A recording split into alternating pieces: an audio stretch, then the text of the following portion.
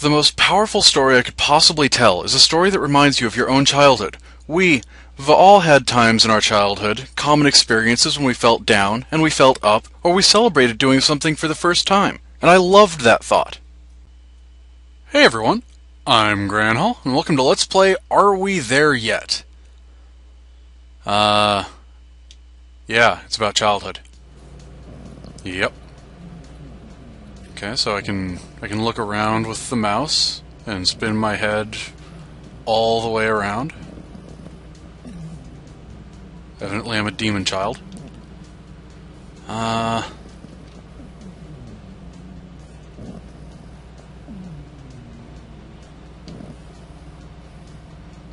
So pressing D just looks over toward the dog. Gotcha.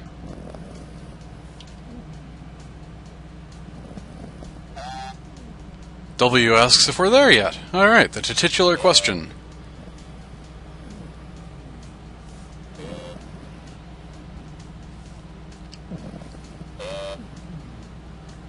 Um. Ho ho ho ho! These parents are insidious!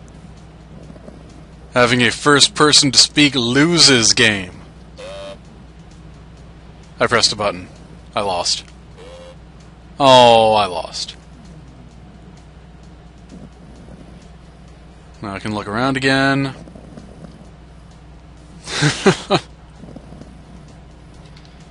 Wait. I didn't mean to quit that. Okay, there we go. So I can jump with W. Jump over the... the did that... Did that deer have bushes in its antlers? It's kind of how it looked.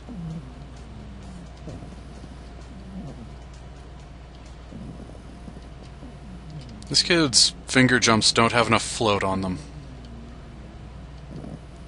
Actually, it's not so much they don't have enough float, it's that it just it immediately like teleports up. It's supposed to have an up arc and then a down arc. Come on, kid. You get twice the jump distance that way. So anyway, stopping playing, and we have a new action available to us.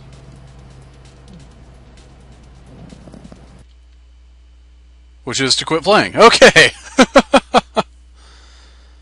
well, I'm Greonhal. See you guys next time. Oh, oh, oh, oh. I think we're there.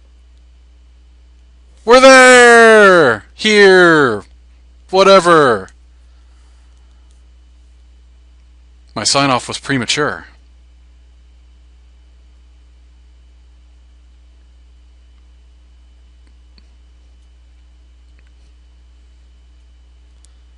Um, I think now is my sign off.